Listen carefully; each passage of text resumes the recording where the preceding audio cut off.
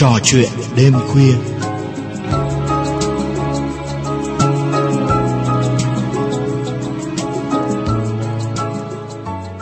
Và các bạn thân mến, chúng ta đang cùng đến với chương trình trò chuyện đêm khuya trực tiếp trên sóng FM 99,9 MHz, FM 103,2 MHz dành cho những thính giả ở khu vực đồng bằng sông Cửu Long.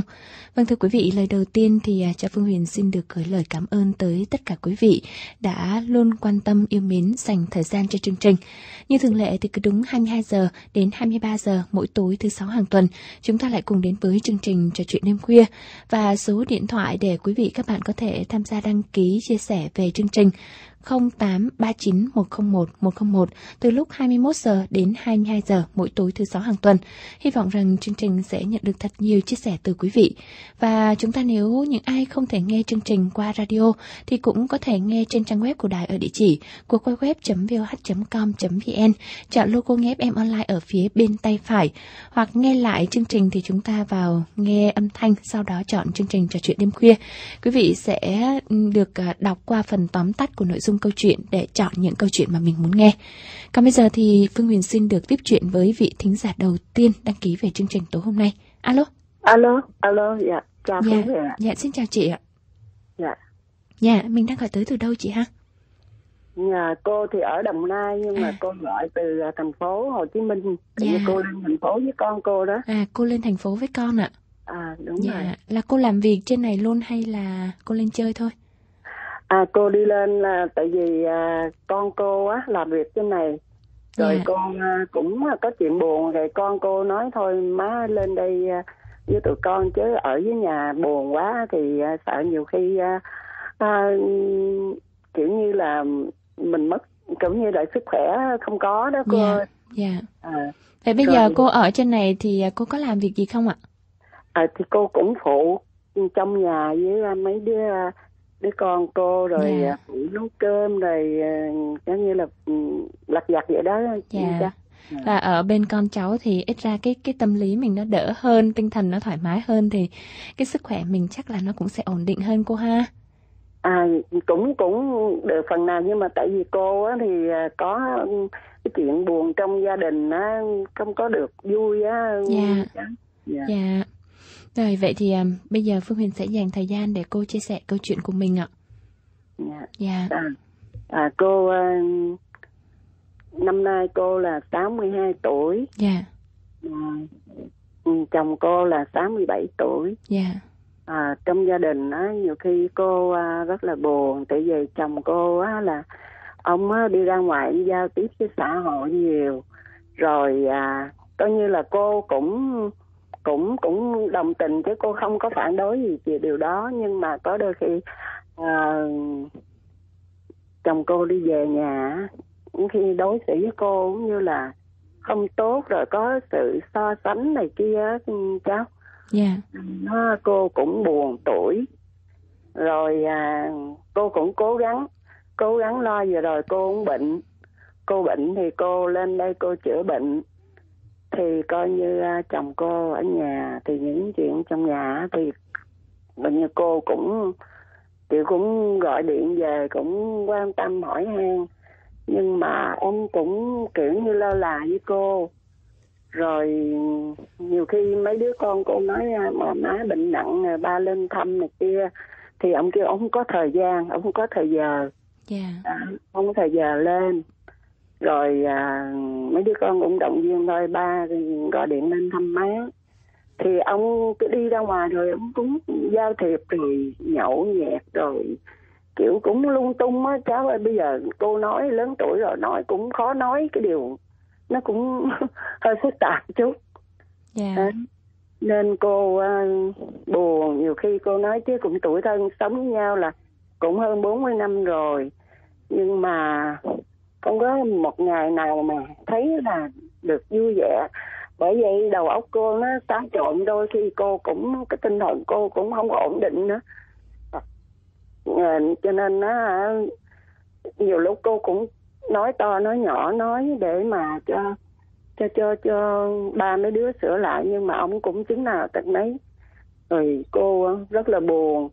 À, cô bệnh đau không bao giờ ông là quan tâm uh, nhiều khi cô bệnh rồi cô tự thư thổi cô đi về. Về thì nhiều khi ông cũng hỏi han ông còn nạt nộ cô là uh, rồi á, những người mà xung quanh á thì uh, giống như người ta cũng kiểu giống như ly dị chồng á chứ. Dạ. Yeah. à, thì ông lại quan tâm. Ông quan tâm ngày xưa người ta chưa ly dị chồng thì ông rất là bình thường bây giờ ông quan tâm.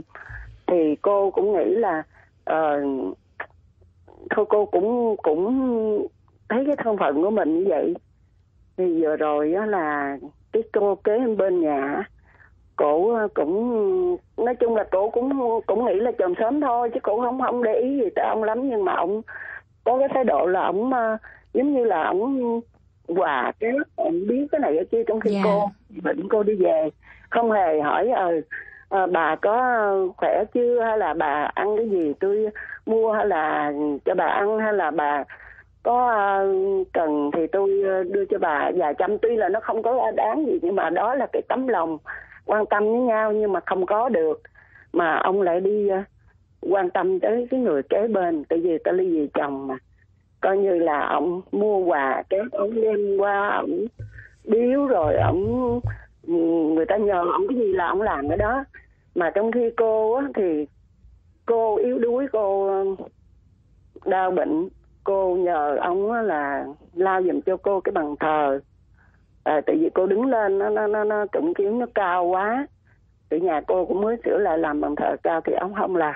Mà người ta nhờ ông qua chặt cây leo cây rồi kiến vàng cắn nắng nôi ông vẫn làm. Thì cô mới nói chứ trời trong nhà thì ông nhờ ông ông phụ giúp ông không ông nói ông không làm mà ông đi qua như vậy thì tôi thấy tôi cũng buồn. Nói chứ nhà người ta không có đàn ông thì giúp đỡ có gì đâu mà bà phải nói.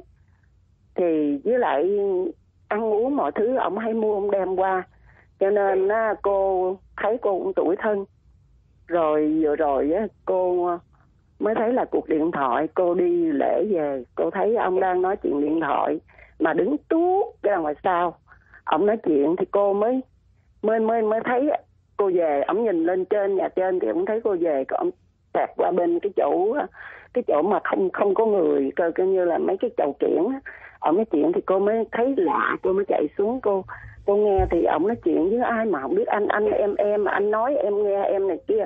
Rồi xong cái ông biết là cô về nên ông nói thôi được rồi anh anh tắt máy thì ông tắt máy lên cô mới hỏi gì chứ.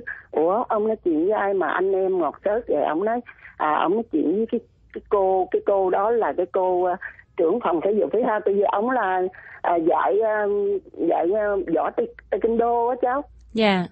à, trưởng phòng thể dục thể thao thì cô mới nói là nếu mà nói chuyện với cô cô Ngân á, thì ông hay xưng là cô tại vì dạ. cô đó dạ cô ơi bây giờ dạ. như vậy à.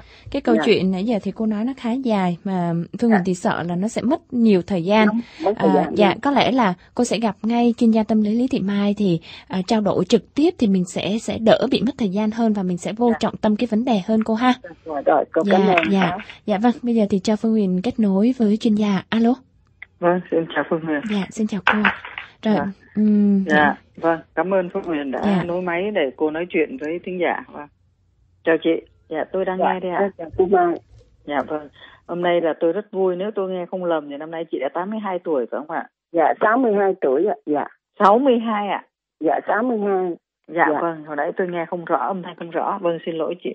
Như vậy là chị 62 tuổi, còn anh là 67 tuổi phải không ạ? Dạ, dạ, dạ đúng rồi. Dạ vâng. Thế hiện giờ thì anh đã về hưu rồi anh có làm công việc gì thêm không ạ? Dạ ông thì cũng không có phải là về hưu nữa cô, ông là dạy võ giống như là dạy cho võ sinh ở dạ. Đồng Nai thì à, dạ. cũng dạy hàng tháng cũng mỗi học sinh vậy là đóng trăm hơn trăm ngàn vậy đó cô. Dạ thưa chị như là vẫn còn đi dạy phải không ạ? Dạ vâng còn đi dạy. Dạ xin lỗi chị là trước đây chị làm công việc gì? Dạ trước á trước giải phóng thì buôn bán kinh doanh dạ. rồi sau giải phóng cũng buôn bán rồi sau này kiểu như là uh, gia, gia đình cũng ổn định thì ở nhà cũng buôn bán tự do ở trong gia đình tại vì nhà ngay mặt tiền á cô. Dạ. dạ. Thưa chị là chị hồi nãy chị nói tôi nghe không rõ là hiện giờ chị đang ở thành phố Hồ Chí Minh đi chữa bệnh phải không ạ? Dạ dạ dạ. Dạ còn chính là anh chị sống ở đâu ạ? Dạ ở đồng nai á cô. Ở ở định quán đồng nai á cô. Dạ vâng. Như vậy dạ. là anh chị là định cư ở đó lâu chưa ạ? Dạ uh, giải phóng là hồi đưa trước khi uh, giải phóng thì ở hóc môn chợ cầu ở cô.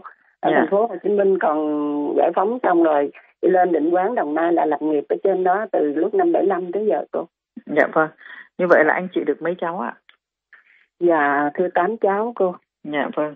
Các cháu là thành đạt hết lập gia đình hết chưa ạ? Dạ năm cháu thì lập gia đình còn ba cháu thì chưa. Dạ. Rồi các cháu đã có công an việc làm hết chưa? Dạ dạ cũng ổn định rồi cô ạ. Dạ vâng. Thế hiện giờ đó là chị đang lên thành phố hồ chí minh là lên với à, ở với cháu nào đấy ạ? Con trai hay con gái ạ? Dạ con gái ạ. Dạ. Ừ, chị lên thành phố được bao lâu rồi? Dạ lên cũng được à, 10 hôm rồi cô 10 hôm 11 hôm rồi dạ, dạ vâng. Tôi xin lỗi chị. Như vậy là chị đang ở với cháu và chị đang chữa bệnh gì ạ? Dạ uh, lúc uh, trước thì uh, coi như là cũng như là bệnh uh, huyết áp bệnh tim. Rồi uh, hiện tại giờ cũng đang uống thuốc đó cô nhưng mà uống thuốc thì uh, chưa có tới ngày tới khám. Chắc cũng còn khoảng 20 ngày nữa mới tới khám. Nhưng mà tại vì buồn chuyện gia đình nó mấy cháu mới nói thôi má ở dưới nhà buồn thì thôi má lên đây chứ má ở dưới thấy má như vậy rồi sợ má bệnh thêm. Nên dạ. Đó, con con nó nó nó nó rước lên đây á cô ạ. Dạ cháu ở đây là cháu gái thứ mấy ạ? Dạ à, cháu à, thứ năm. Dạ vâng. Dạ. À, cho tôi hỏi thăm chị đó là ngoài huyết áp và tim là chị bị gì nữa không? Dạ huyết áp tim rồi à, giãn tĩnh mạch. Dạ rồi dạ. À, sơ vữa động mạch ở cổ á cô. Dạ đang dạ. uống thuốc cứ phải điều trị vậy hoài á cô dạ.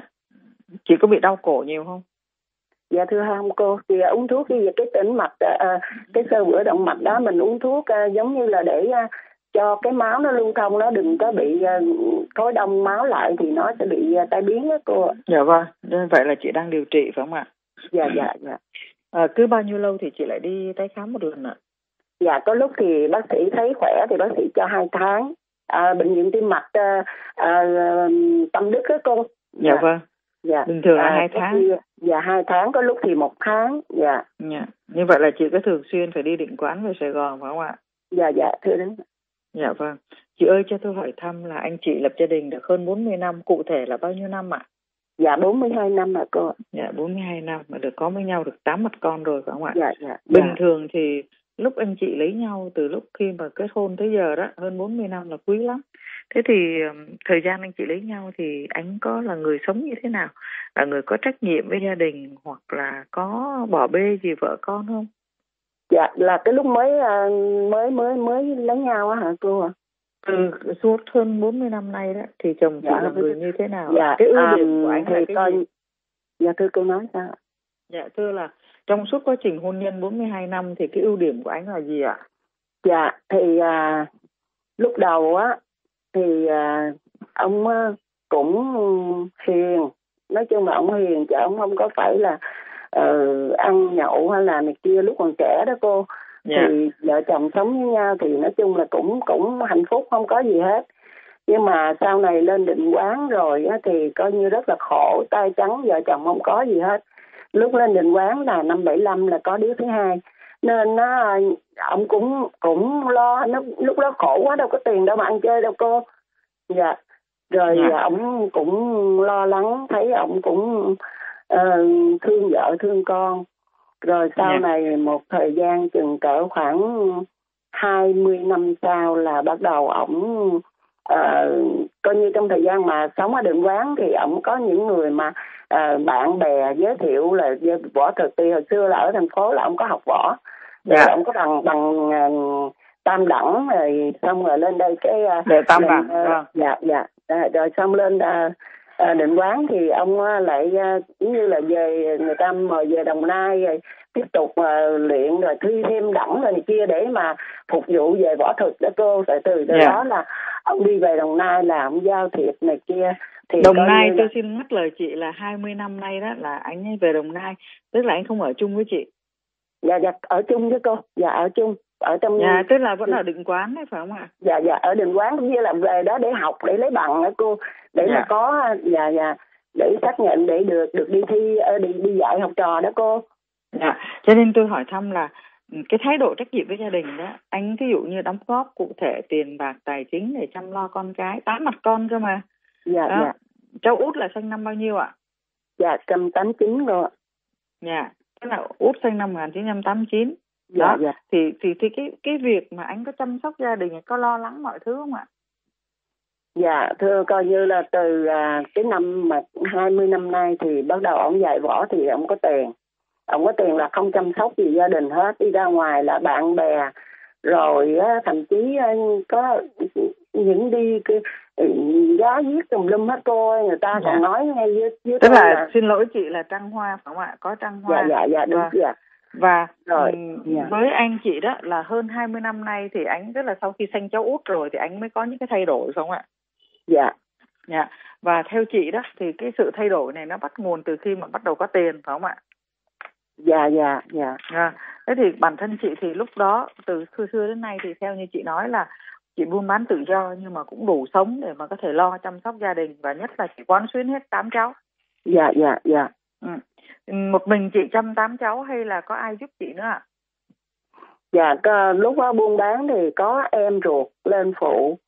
Nhưng mà Dạ. nó, đứa em nó cũng bất mãn vì anh rể, nó thấy ờ, kiểu như anh rể không có ừ, lo lắng trách nhiệm này kia rồi.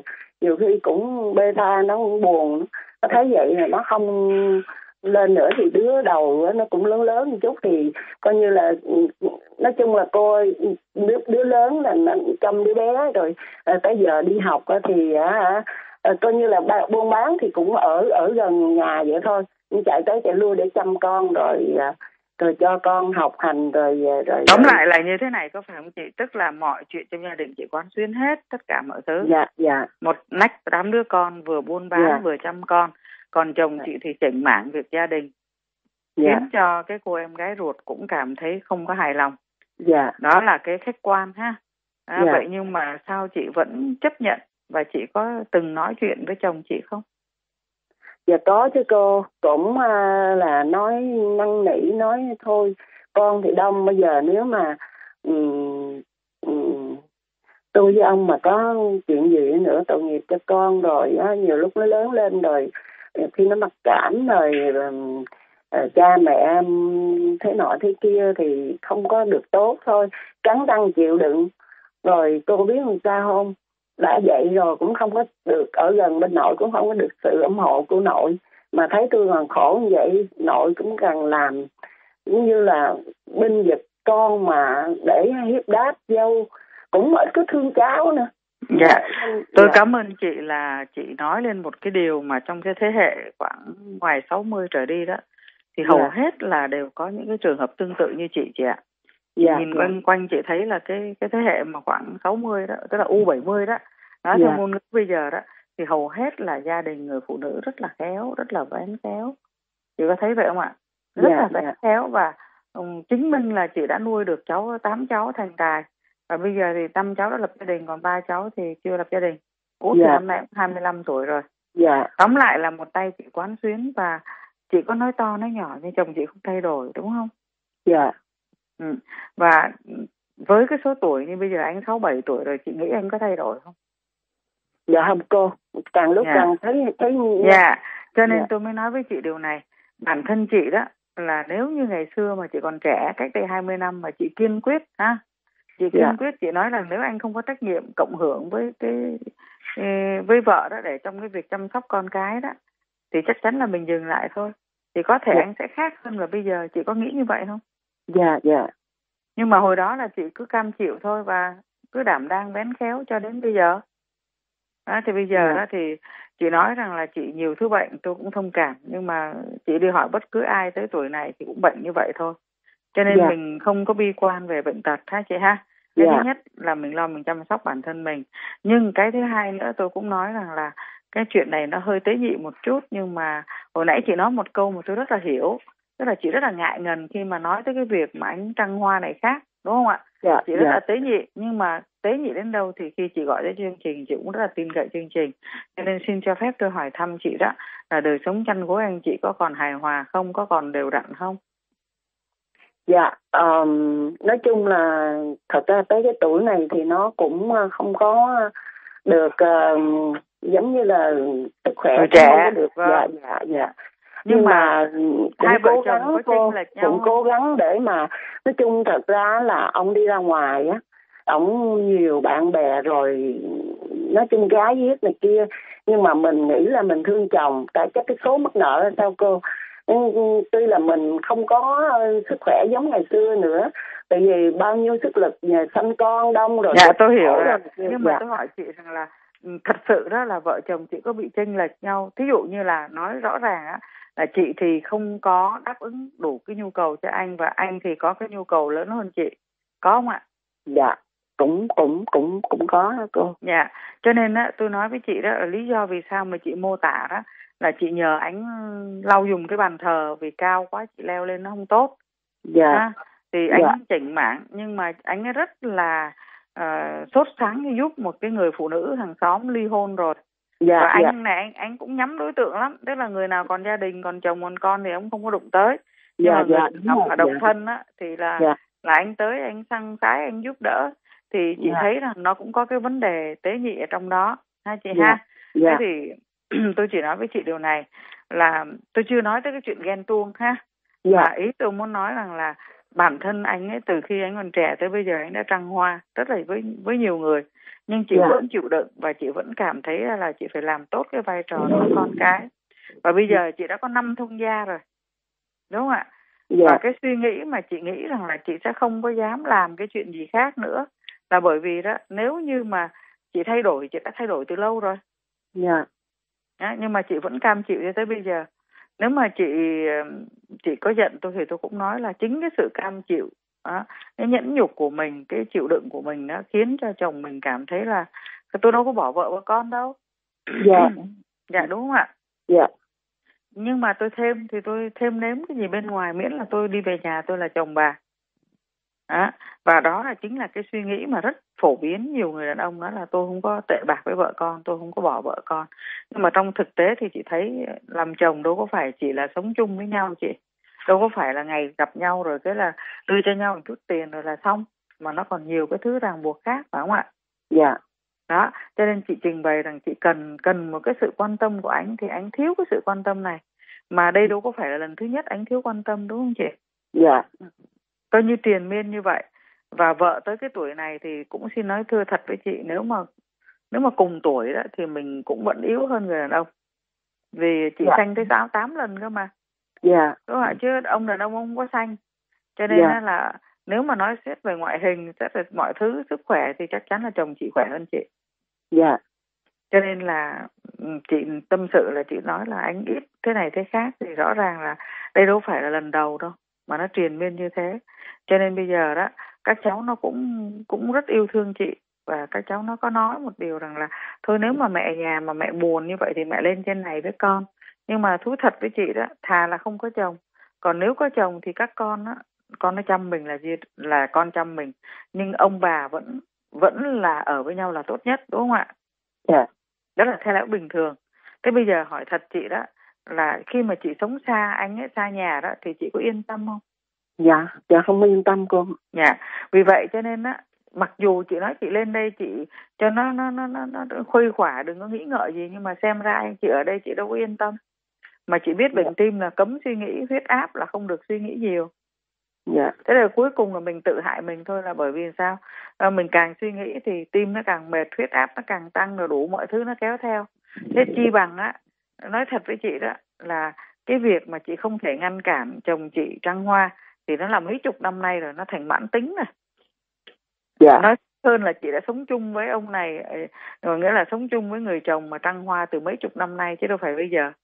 Dạ. Và bây giờ đó là trong lúc chị bệnh ấy, thì mình có thể dễ tủi thân hơn nó nhạy cảm hơn đúng không ạ? Dạ đúng rồi Nè, chứ bình thường á chị làm quần quật á chị đâu có giờ chị nghĩ chị tủi thân. Dạ. Bây giờ mình mệt mình làm không được đúng không nào? Dạ. Đó và bây giờ mình bắt đầu mình nghĩ mình tiêu cực hơn mình thấy mệt mỏi hơn bây giờ cái quan trọng đó là chị đi chị không yên tâm thì tôi đề nghị chị nên quay về. Đúng ngày tái khám thì mình lên tái khám. Và chị về thì chị lo chị chăm sóc bản thân chị. Mọi việc trong nhà chị làm được cái gì thì chị làm chị không làm thì cũng không sao cả. Bởi vì bây giờ cái sức khỏe của mình nó theo tuổi thôi. Dạ. Chị đồng ý với tôi như vậy không nào? Cơm Dạ. nhà mình mình ở cơm mình mình ăn việc mình mình làm làm túc tắc thôi. Tuổi Dạ. này không ai bắt tội chị làm nhiều hết á. Đó là vấn đề thứ nhất. Vấn đề thứ hai nếu anh ấy sống mà anh vô tình vô tâm với chị thì hà cớ gì chị cứ phải bận tâm tới anh? Dạ. Phải không nào? Bây giờ nếu Dạ. mà nói tiếng ly dị giờ thì chắc là chị nghĩ là ôi giờ già rồi ai ly dị làm gì? Dạ. Thế là còn ba đứa con nữa là gả chồng thôi ráng nhắm mắt mà mình sống cho có có vợ có chồng. Thế thì chị đừng bận tâm tới chuyện đó. Chuyện ông uh, săn sái giúp người này ông săn sái giúp người kia. Thì trong đó nó có một cái lý do tế nhị mà tôi vừa nói với chị đó nếu như Dạ. mình không đủ cái sức đáp ứng với nhu cầu sinh lý của chồng mà chồng mình không phải là cái người có trách nhiệm với gia đình cũng như là không có thủy có chung thì chị làm sao chị cấm được dạ đó năm nay anh ta mới sáu bảy tuổi thôi mà đúng không ạ dạ Dạ, cho nên tôi chỉ nói với chị rằng khi mình xác định được như vậy đó, mình không muốn nghĩ tới cái chuyện tan vỡ. Ông cũng không tuyên bố bỏ vợ, ông vẫn sống như thế, nhưng ông vẫn có thể kết bạn với người này người kia, vân vân và vân vân. Thì tôi nghĩ rằng là trong đó mình cũng có những cái phần gọi là nó nói là lòng tốt của mình là sự đảm đang bén khéo và đôi khi mình cũng hơi trở thành nhu nhược á, mình không có dám dứt khoát đó mà. Thành ra người Dạ. chồng ta thôi nói gì nói bà buồn bà buồn vậy thôi, việc mình mình làm, đúng không ạ?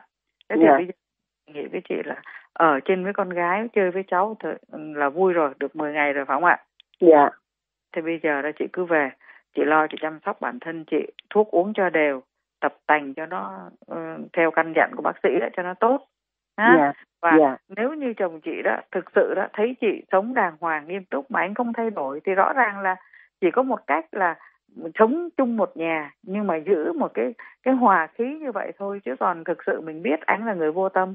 Mấy chục năm nay rồi mà chính Dạ. chị cũng xác nhận là ông thay đổi phải không ạ? Dạ. Đó thì thôi thì bây giờ đó là ở đây đó mình lo chuyện dưới nhà. Tại vì nhà mình mà. Thành ra Dạ. là nói với các cháu là thôi để mẹ về rồi chừng tới tái khám thì con lên mẹ lên đó thì chị lên Dạ. chị thư thả chị cứ nghỉ đôi ba ngày tuần không sao cả. Nhưng bây giờ chị xác định được cái mục đích cuộc sống của chị là gì? Là chị tiếp tục sống một cách an nhàn an vui con cháu đều về. Các cháu nó kính trọng chị nó yêu quý chị. Có đúng không nào? Dạ. Đó. hỏi chị thiệt á bây giờ là chị có phải vất vả về kinh tế lắm không? Dạ cũng ổn định con nó lớn rồi nhà dạ. nhà các cháu nó đều có mọi thứ. Nói chung là mình không dám nói là giàu nhưng mà các Dạ. cháu nó đều đâu ra đấy đúng không ạ? Dạ Thế cho nên mình về con cái là mình cái người ta bất hạnh nhất là con cái không có được đàng hoàng tử tế còn mình thì tám cháu đều tốt hết thế thì bây Dạ. giờ cái vấn đề nếu mà chồng chị mà lại tốt nữa thì tôi xin nói chị thành tiên rồi mà tôi cứ nói đi nói lại trong các chương trình là Dạ. không có thiên đàng không Dạ. có niết bàn ở ở cái thế gian này cho nên là chúng ta phải chịu đựng một cái gì đó và chị đã bằng ấy năm trời chị chấp nhận hơn 42 năm nay chị sống và nói cụ thể là 20 năm nay chồng chị không có đóng góp không có quan tâm gì tới cũng như là sống rất là thoải mái như là người độc thân phải không ạ? Dạ đúng rồi dạ đúng rồi. Dạ. Mà chị cam chịu như tới bây giờ thì bây giờ chị bảo thay đổi anh thì chắc chắn là chị đã xác định là anh không thay đổi. Vậy thì Dạ. chị phải thay đổi bản thân chị thôi. Nhà Dạ. chị ở ha tôi nói rồi đó thuốc chị uống con cái nó kính trọng nó chăm sóc mình. Chứ bây giờ mà đòi hỏi ông âu yếm ông hỏi thăm mình câu này kia thì từ xưa nhớ ông đâu có làm dạ à, xin xin nhắc lời cô Mai tí. Cô Mai Dạ. biết không ờ, tôi cũng muốn ở nhà lắm tôi đâu có muốn đi. Dạ cô Mai ờ, dù gì nữa dù ông còn sao nữa mình ở nhà mình đi vô đi ra mình cũng hiểu được cái này cái kia. Rồi có đôi khi á ờ, cũng có thể là ờ, hàng gắn vui vẻ với nhau chứ không có mình cái gì mình cũng chịu đựng được hết. Nhưng mà cô biết sao không? Mấy lúc này á ông á tôi ở nhà là ông cứ kiếm chuyện cô Mai ơi. Ông cứ uh, uh, đi đi nhậu đi nhậu mà hỏi tôi gì cũng đi mà đi tới hai giờ một giờ mấy hai giờ đêm mới về. Thì tôi về ông đập cửa rầm rầm rầm. Thì tôi mới mở cửa mở cửa xong cái ông kêu tôi vậy chứ không thích thấy mặt trong nhà này nữa. Ông nói vậy không thích thấy mặt bà trong nhà này nữa. À, bà đi đi. Em nói chứ ủa trời ơi ờ, bao nhiêu lâu nay ở trong gia đình thì á hả ờ, cùng chung với nhau tạo dựng ra. Chứ đâu phải là riêng của ai đâu thì bây giờ ông không thích thì uh, tôi với ông sống coi như là mỗi người việc ai nấy làm. Thì tôi nấu cơm đó thì ông cứ ăn ông không ăn thì quyền ông nói ông không cần ăn nữa không cần ăn. À, mà tôi không có muốn thấy mặt bà nữa. À, ừ, bà đi đi à, bà lên bà ở luôn với mấy đứa nó đi đừng có về đây nữa. Ừm, cái tôi mới nói ủa lý do làm sao mà ông lại nói những cái lời đó? Cái ông mới nói như là bà ở đây sao tôi thấy tôi bực mình quá. Nói vậy. Thì có khi cô biết sao không? Hôm vừa rồi đó con dâu nó sanh thì nhà nó cũng kiểu như là không có ai chăm sóc nó với lại nó vừa mổ nó bị ờ, bị ờ, cái cái cái cái bác sĩ ở dưới quê mổ chúng bằng quang á cô thành thử ra. Dạ. sợ nó không ai chăm sóc nó rồi nó có gì mình cũng tội nghiệp thì ở để lo cho cho cho dâu thì nó về nó ở thì trong thời gian nó ở nó thấy ừ, ba chồng đối xử với với với với, với, với tôi vậy nó còn bất mãn nó nói mẹ ơi thôi con nghĩ là mẹ lên nó lên thành phố mẹ ở đi chứ mẹ ở vậy mẹ không thể nào mẹ ở nổi con mới thiệt với mẹ hả không phải là con nói con đây góp ý thôi chứ mẹ ở là có ngại á tụi con mà con mà khỏe rồi con đi về nhà con rồi có thể là ba giết má chết đó giết giết mẹ chết bây giờ con rồi tôi xin lỗi chị điều này ha cô ông nói chứ yeah. Dạ. con mày có tin là tao giết mày không à, mày đi ra khỏi nhà này nếu mà rồi. mày ở đây có tin là tao giết mày rồi không? bây giờ dạ. tôi xin lỗi chị tôi dạ. xin ngắt lời chị tôi hiểu cái điều đau khổ của chị dạ. nhưng mà tôi đã nói rồi là chồng chị không thay đổi vậy chị có dám thay đổi để chị sống độc thân không dạ dạ được không có sao hết cô mai dạ cho dạ. nên á vấn đề ở đây nếu như thực sự đó từ trước đến giờ nếu mà chị nghĩ rằng là chồng chị không thay đổi thì dạ. bản thân chị thay đổi và chồng chị dạ. không được phép đuổi chị bởi vì chị đâu có làm gì sai dạ đúng rồi cho nên dạ. nếu như chị muốn sống thành thơi đó thì chị có quyền chia tay chứ không dạ. thể để có cái tình trạng mà vừa sống trong hôn nhân vừa nơm nớp lo sợ như vậy ha? Yeah. Và tôi nói yeah. Lại là hôm nay chị hỏi tôi chỉ hỏi chị là chị có nghĩ rằng chồng chị thay đổi hay không? Chị đã trả lời là không. Vậy thì yeah. bây giờ chồng chị không thay đổi mà chị sống trong đau khổ như vậy thì chị phải thay đổi để chị sống thành thơi. Và đó cũng là lời mà chương trình muốn gửi gắm tới chị để chúc chị tỉnh táo sáng suốt để đưa ra một cái quyết định thật đúng để chị giải thoát được cuộc sống của chị. Chào chị nhé. Dạ cảm ơn cô mai nhiều. Dạ dạ. Dạ, dạ chào chị. Dạ cảm ơn cô. Vâng vừa rồi thì à, chúng ta đã nghe câu chuyện à với bản thân phương huyền thì à, có một chút cảm nhận như thế này. Rõ ràng rằng là cuộc sống có những điều mà chúng ta khó có thể lường trước được ở cái tuổi à, qua 60 rồi. Thì à, vẫn là những cái tranh trở rất là phụ nữ. Có thể mình nghĩ rằng là khi mà người ta đã trải nghiệm biết bao nhiêu thứ qua cái tuổi đó rồi, thì đôi khi những cái vấn đề như vậy thì nó cũng không làm phải bận tâm nhiều. Tuy nhiên thì nó cũng thuộc về tính người phải không ạ? Có những chuyện vẫn đau đáu vẫn tranh trở và vẫn nhiều thứ băn khoăn lắm. Vâng à, rất cảm ơn cô đã à, trải lòng cùng với trò chuyện đêm khuya đêm nay. Và trước khi kết nối cùng tiếng giả tiếp theo thì chúng ta sẽ dành thời gian cho quảng cáo như vậy nghe về nghe về Tết đến Bạn bè thân mến cùng nhau xung vầy Sức khỏe tràn đầy gia đình hạnh phúc. Ôi con của mẹ giỏi quá Con chuẩn bị bài về này để chúc cho ba đấy hả? Dạ năm nay ba sẽ về quê ăn Tết phải không mẹ? Ừ. Con chuẩn bị thiết là nhiều quà cho ba Con còn bức tranh ngày Tết nữa nè. Ba mẹ và con bên cây mai vàng và dưa hấu đỏ Tết này nhà mình là vui nhất luôn Trái tim trẻ thơ luôn hướng đến những điều tốt đẹp. Mỗi bức tranh của bé là một thông điệp vô cùng ý nghĩa. Mùa xuân này, hãy để bé được mang niềm vui lan tỏa Bằng cách tham gia chương trình vẽ tranh Vé Tết đoàn viên Từ 23 tháng 12 năm 2014 Đến 25 tháng 1 năm 2015 Mỗi bức tranh sẽ được nhãn hàng Omo in thành vé Tết thật Để mang cơ hội về quê cho những hoàn cảnh khó khăn. Những bức tranh với chủ đề ngày Tết, Gia đình sum vầy đều có thể tham gia. Xem thông tin chi tiết tại omotết.vn Hãy cho bé mang yêu thương đến với cộng đồng cùng Omo tặng 5 5.000 vé xe Tết đoàn viên trọn miền Nam Bắc cho những người khó khăn về nhà đón Tết. Omo, xuân gắn kết, Tết sẽ chia. Từ sản vật mà thiên nhiên ban tặng kết hợp với công nghệ tinh luyện hiện đại hoàn toàn nhập khẩu từ châu Âu, tập đoàn Sao Mai An Giang cho ra đời sản phẩm dầu cá cao cấp Rani phù hợp cho bếp ăn của mọi gia đình. Uhm, ngon! Món chả giò và rau xào của em hôm nay tuyệt lắm. Tay nghề nấu ăn của bà xã tiến bộ rõ rệt nha. Bí quyết đơn giản chỉ là nhờ có dầu cá cao cấp Rani này đó chồng. Nè nghiêng, dầu cao cấp Rani 100% dầu cá tinh luyện. Mà anh biết rồi đó, dầu cá là dưỡng chất Bổ sung cho cơ thể các thành phần axit béo không no omega 3, 6, 9 Gồm EPA, DHA và vitamin A, vitamin E một cách tự nhiên. Tốt cho sức khỏe lắm đó. Dầu ăn này hay đó bà xã. Hay là chút xíu vợ chồng mình ra siêu thị mua biếu ba má già cho dầu Rani nha. Chồng an tâm đi em đã mua biếu ba má rồi Dầu cao cấp Rani này rất tốt cho trẻ nhỏ nữa đó. Bà xã chu đáo quá. Từ nay có Rani Các món chiên xào thêm ngon Sức khỏe cả nhà mình được bảo vệ đúng không? Dạ. Rani làm bà xã anh đáng yêu lắm nghe.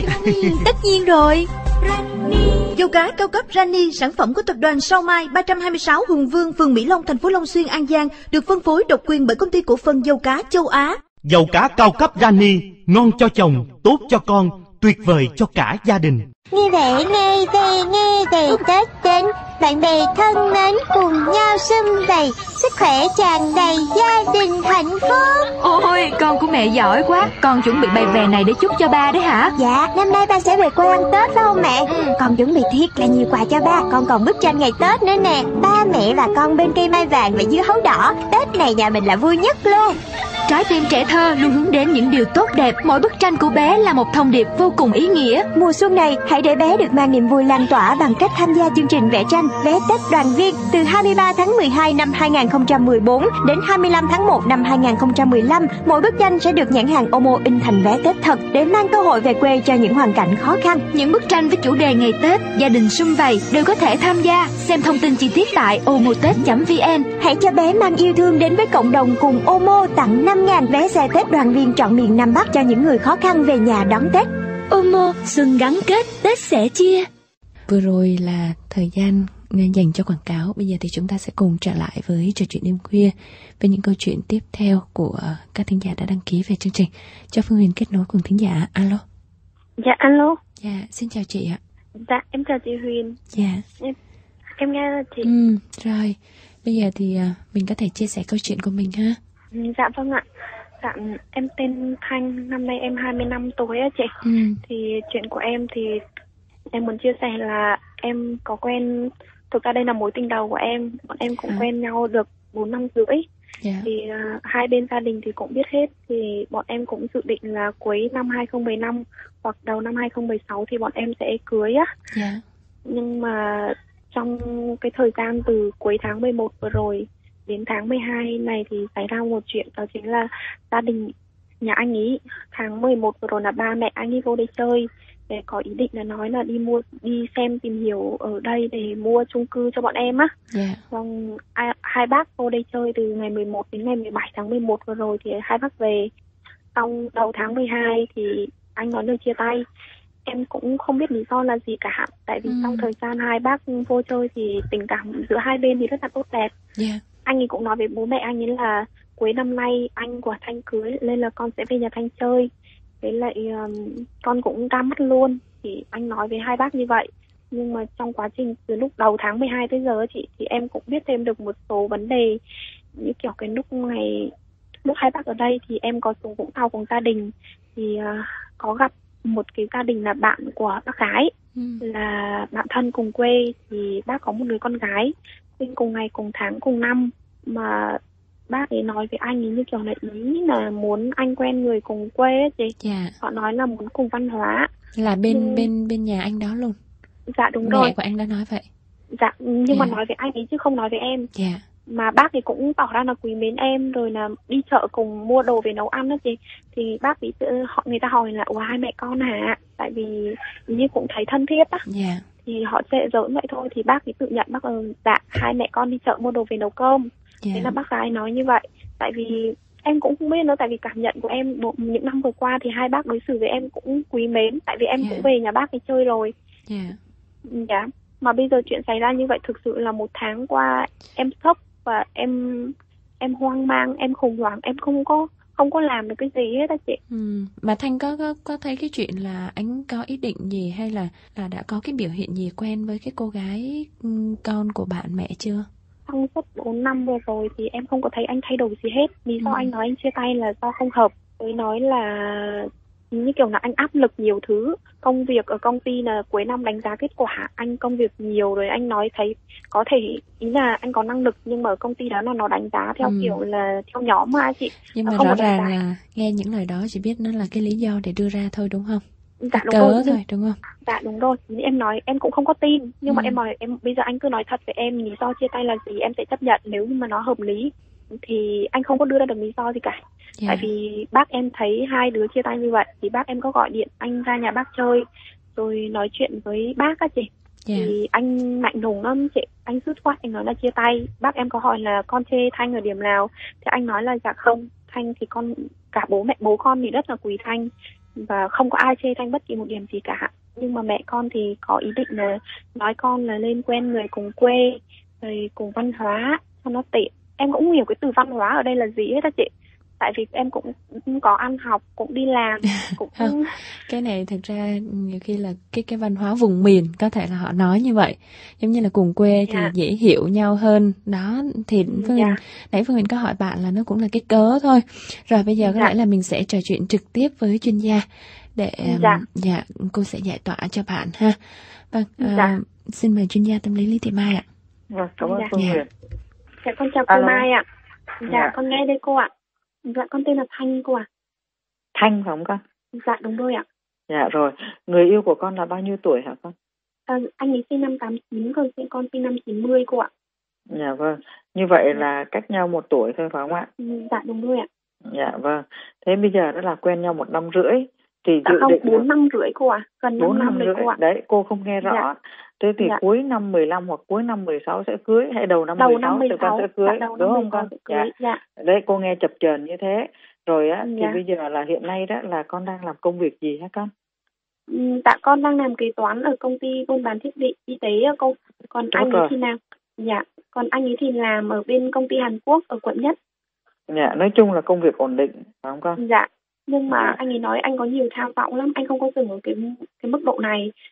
Rồi đó là lý do anh ấy nói là như vậy thôi cô. Nhưng Dạ. bây giờ cái việc tình bây giờ cảm cho này cô hỏi con á là Dạ. bình thường thì nó có cái gì trục trặc cái đoạn mà con nói thì cô nghe không rõ. Tức là cha mẹ anh vào chơi quê gốc của con ở đâu ạ? Dạ quê con thì ở Nam Định cô ạ. À còn anh ấy thì ở đâu ạ? Dạ nhà anh ấy thì ở Vinh ạ. Dạ vâng rồi. Như Dạ. vậy là con hai bên nhà đã biết nhau chưa Dạ như về gọi anh ấy với gia đình con thì gọi điện thoại các thứ này kia thì nhiều lắm. Anh ấy Dạ. cũng quen, anh ấy quý mẹ con lắm tại mẹ con cũng bị bệnh tim á cô. Mẹ con Dạ. phải thay van tim mà cái chuyện tình cảm này con không có dám nói thực cho mẹ con biết. Tại Dạ. vì mẹ con tháng nào cũng lên Hà Nội hai lần hết á cô. dạ Lên bệnh viện Bạch Mai á cô để lấy thuốc. Tại cứ mẹ con mà sốc lên hoặc là mẹ con có ừ, ý là xúc động về mặt tình cảm ạ thì không Dạ, có lường trước được cái gì hết á. là rất là Dạ. mệt mỏi đúng không ạ vừa rồi Dạ. chắc là bác à, bác gái hồi nãy mà có nghe chương trình của mình bây giờ tiếp tục đang nghe con nói thì thấy rằng là không phải là chỉ có bác cái bị bệnh mà mẹ con cũng bị bệnh luôn năm nay mẹ con bao nhiêu tuổi Dạ không chỉ có mẹ con bị bệnh thôi bác ạ. đúng rồi mẹ mẹ con bao nhiêu tuổi Dạ mẹ con năm nay uh, 52 tuổi cô ạ. dạ hồi nãy cô nói là vị thính giả đầu tiên á cũng nhiều bệnh À. lắm bác gái Dạ. bác cái kể đủ thứ bệnh hết á cho nên là Dạ. mẹ con còn trẻ hơn bác tới 10 tuổi mà cũng bị bệnh nữa tóm lại là Dạ. ai cũng phải có một cái bệnh gì đó thế bây giờ Dạ. cô hỏi thăm con là con vào trong này con sống bao lâu rồi Dạ con vào từ năm 2008 tới giờ là năm nay là được 6 năm đi cô. dạ vâng thế thì con đã là trưởng thành hơn khi mà xa gia đình con sống tốt hơn và con làm công việc nó cũng ổn định vấn đề Dạ. ở đây là cô nghe không rõ là lúc mà cha mẹ của anh người yêu của con vào chơi đó có phải Dạ. không ạ đó Dạ. thì cái đoạn từ cái đoạn đó là cô nghe không rõ con vắn tắt lại giúp cô một tí nhé Ừ, dạ thì uh, hai bác ấy thì cũng có quý mến con tại vì hai bên Dạ. gia đình thì cũng hay gọi điện hỏi thăm sức khỏe á cô. vâng Nên là thế hai, cũng hai một- bác vào chơi từ lúc nào ạ tháng mấy ạ Dạ hai bác cô tháng từ ngày 11 tháng 11 đến ngày 17 tháng 11 vừa rồi á cô. dạ Dạ thì uh, trong cái quá mấy ngày của hai bác vào chơi thì con thì anh ấy con cũng xin nghỉ một tuần nghỉ làm á cô để chở hai Dạ. bác đi chơi á.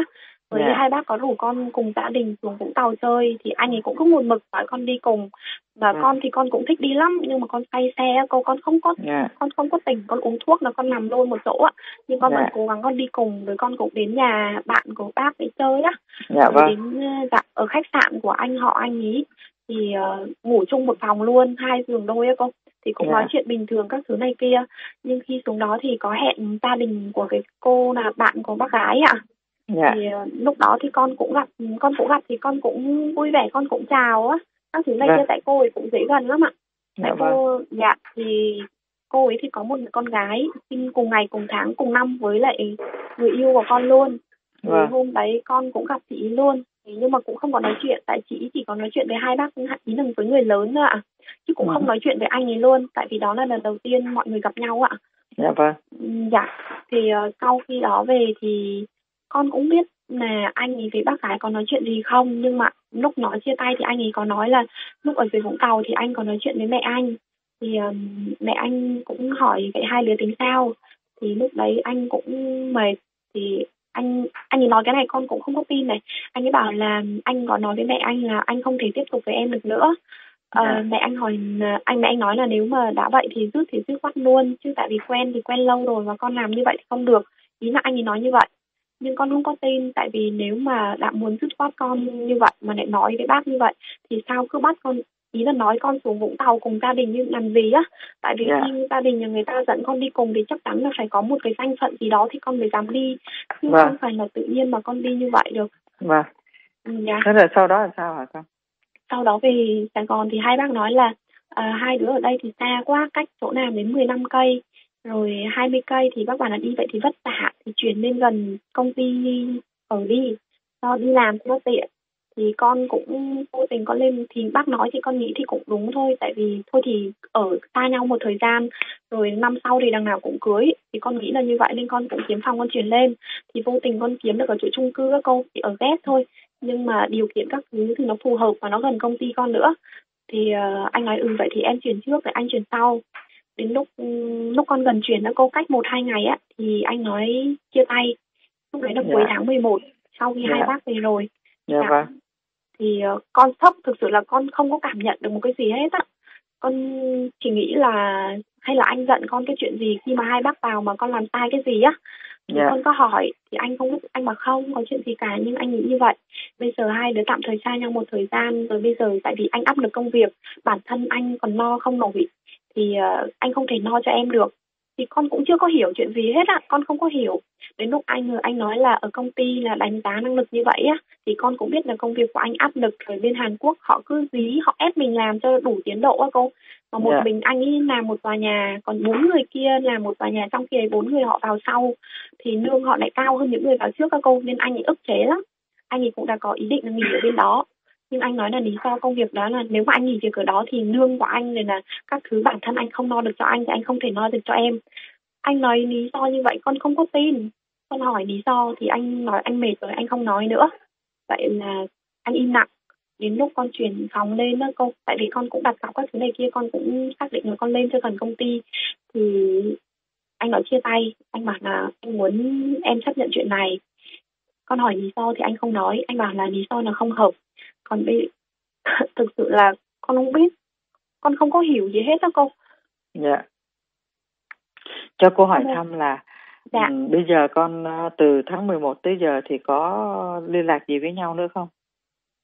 thực ra chuyện của bọn con nó kéo dài từ hồi đó luôn đó cô mới dứt khoát ừ, không có con con cố gắng không liên lạc mới được có 10 ngày thôi cô à Dạ.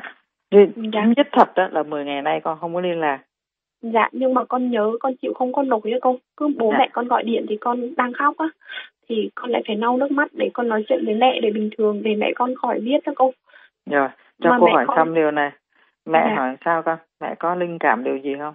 dạ có chứ mẹ con gọi điện với là vậy từ lúc chuyển lên tới giờ vậy anh ấy có gọi điện cho con không anh ấy có lên với chỗ con không thì nguyên cả cái tuần đầu tiên con chuyển lên đây từ ngày mùng 1 tháng 12 á cô là tuần nào Dạ. anh ấy cũng lên hết á anh ấy cũng lên anh ấy ờ, đến chơi để anh ấy cũng vui vẻ với mấy người trong phòng để cho con dễ tiếp xúc với họ á tại vì tính con như kiểu cũng nhát đó cô nên Rồi, là cho cô hỏi thăm dạ là cái cái việc trước đây đó là con đang sống ở đâu? dạ lúc trước thì con ở quận 9 cô ạ Quận 9 phải không con? Dạ, Rồi, thế con- con mới chuyển đến quận mấy? dạ con chuyển đến quận 10 ạ Quận 10 thì nó gần hơn phải không con? Thì dạ lúc ở quận 9 thì anh có ở chung với con không? dạ không anh ở phòng nhưng mà gần gần chỗ con cô Tức là hai người ở gần nhau nhưng mà không Dạ. có sống thế tụi con đã có quan hệ gì về mặt thể xác chưa? Dạ có, bọn con có đi qua giới hạn nhà cô à, nhưng mà bọn Vâng. con không có sống cùng. Rồi, cô hiểu, tức là nhà ai nấy sống nhưng mà đã có quan hệ rồi và đã có Dạ. vỡ kế hoạch, có bị lần có thai lần nào chưa?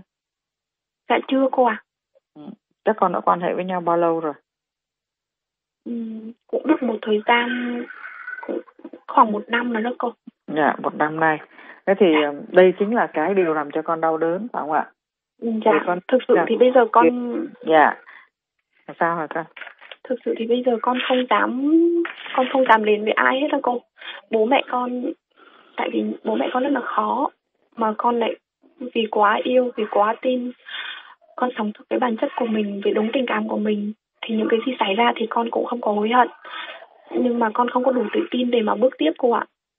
bây giờ cô chưa nói tới chuyện bước tiếp mà cái quan trọng hiện nay đó mình phải nhận thức cho đúng về vấn đề này là con có đánh đánh giá được là anh ấy có yêu con thật lòng không và và và và cái tình yêu của con nó trao đúng địa chỉ hay chưa theo con á theo con thì dạ có cô tại vì anh rất là thương con thời gian Dạ. từ từ đầu tới giờ á cô dạ. thì là anh luôn luôn ở bên con làm cái gì cũng vậy lúc con ốm đau hay nhập viện hay đi làm hay tất cả những cái gì anh đều ở bên con hết. Ngay dạ cả những cái lúc mà mẹ con bị bệnh hay gì anh đều là người chia sẻ cùng với con á. Vâng. Tức là phải sâu đậm lắm bốn năm rưỡi rồi mà. Dạ. À, và và con đã tin cho nên là con đã quan hệ với anh như là vợ chồng mặc dù không Dạ. sống chung. Dạ. Mình niềm tin mình trao hết rồi mà đúng không? Dạ. Nhưng mà rõ ràng bây giờ anh anh thay đổi mà cái lý do thì nó không có thuyết phục con đúng không? Dạ, nhưng cô ơi, cái Tết Dương lịch vừa rồi con có xuống chỗ để gặp anh á, thì con con cũng phát hiện ra một việc đó chính là anh có nhắn tin trên Facebook, ở trên nhắn nhắn tin trên điện thoại và trên Zalo với cái chị mà sinh cùng ngày cùng tháng cùng năm cô. Rồi Dạ. anh cũng có nói với con là anh có xuống Vũng Tàu để gặp cái chị đó vì tò mò Dạ. thì có rất nhiều điểm tương đồng chị cũng quen người Nam Định cũng được 6 năm cũng mới chia tay được mấy tháng nhưng mà trong chị ý luôn luôn chứa những cái hình ảnh đẹp giữa hai anh chị ý cô nhưng mà anh ấy nói con là đừng vì cái chuyện mà đi quá giới hạn mà cứ say dứt lương tâm như vậy á anh ấy còn nói với con một câu rất là nhận tâm đó chính là anh ba chứ chẳng nhẽ bây giờ anh tò mò với người ta anh muốn có mối quan hệ với người ta thì anh cũng phải chấp nhận cái chuyện người ta đã từng quan hệ với người cũ á cô. Con thực sự là, là con không có tưởng tượng được đó là cái gì luôn đó cô. Con cũng Ừ. hiểu vì sao anh ấy nói những cái lời nặng nề Như vậy thì con nó- nữa. nó rất là rõ rồi lý do đây không phải vì áp lực công việc. Dạ. Là anh có người khác. Đó đó là cái điều mà con muốn biết thì là con đã biết rồi cho nên con không cần phải bận lòng nữa. Và 10 ngày nay con không liên lạc tức là con con dằn vặt con đau khổ lắm đúng không? Dạ. Ừ. nhưng mà cái rõ ràng là anh cũng đã giúp cho con thấy được là bây giờ anh đang đi theo đuổi một người khác. Con không phải là cái đối tượng anh theo đuổi. Nhưng mà con những cái tin nhắn anh ấy nhắn là từ con có biết là tại vì thực tế thì con có xem được tin nhắn đó con con vô tình con nhấp mà không ai trúng mật khẩu. Con cũng biết mật khẩu là cái gì mà tự nhiên màn hình nó mở ra thì con tò mò con vào tin nhắn con xem thì con thấy anh nói chuyện với người ta là như kiểu là hai người cùng hoàn cảnh ý là cùng tâm trạng á rồi là cùng nhiều điểm tương đồng. Rồi nhưng mà con không ngờ là cái tình cảm bốn năm rưỡi anh lại nói với người ta là anh hết tình cảm với con rồi và anh nhận ra là anh thương con nhiều hơn chứ là không phải là yêu. Mà anh nói là hai năm đầu thì rất là anh nói với con là hai năm đầu rất là hạnh phúc còn hai năm sau thì rất là nhiều áp lực công việc cuộc sống. Anh nói như thế. Dạ. nhưng con không ngờ là tình cảm lâu như vậy mà anh lại đi nói với một người ngoài mới quen. Con cảm Con- thấy con bị tổn thương đúng không? Đã. Rồi bây giờ giữa cái buồn vì con chia tay với cái tổn thương á, cái nào nhiều hơn? con bây giờ thực sự là con hoang mang lắm khoa Nha. ngày nào con cũng nhớ ngày nào con Ừ. cũng muốn biết anh làm gì.